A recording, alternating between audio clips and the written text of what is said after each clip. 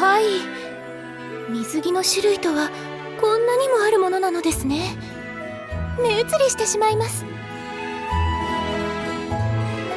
ええ色とりどりの水着これなどリリ殿に似合いそうですよ。リミはいいんです。お二人の付き添いで来ただけですから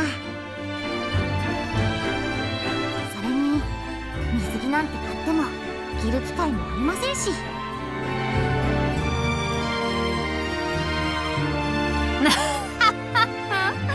それは自分たちもそうですよ。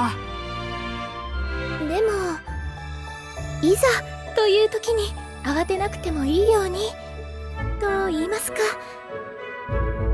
そうです。いつ何時竹三和様に川遊びに誘われても対処できるように備えあれば憂いなしです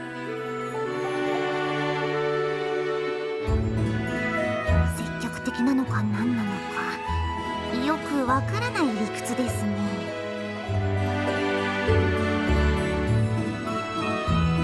あこちらにはルナール専用の水着まで。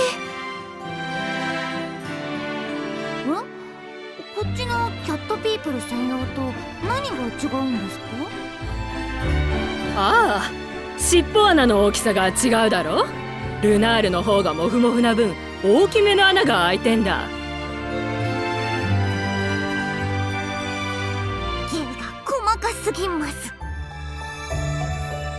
このお店以前の職場でも評判でしたので私は外出が制限されていたので伺えませんでしたが。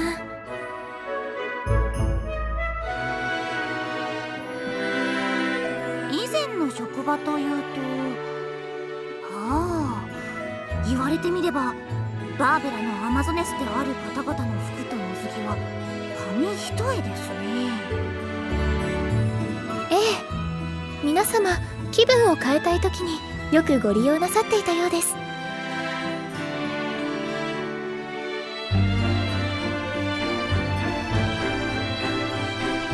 リリ殿とりあえず一着試着されてみては？そうですね。せっかく来たのですから試着してみるだけでも。だからそんなつもりはありませんって。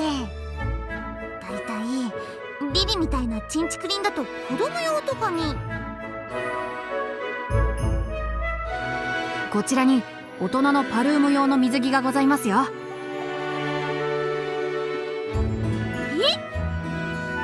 こちらは多種族に適応した水着を売られていることでも有名だと伺いましたので揃わないものはないかと。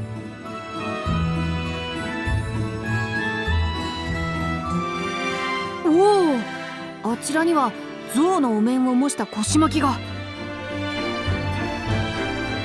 それガネーシャ様しか着ないのでは？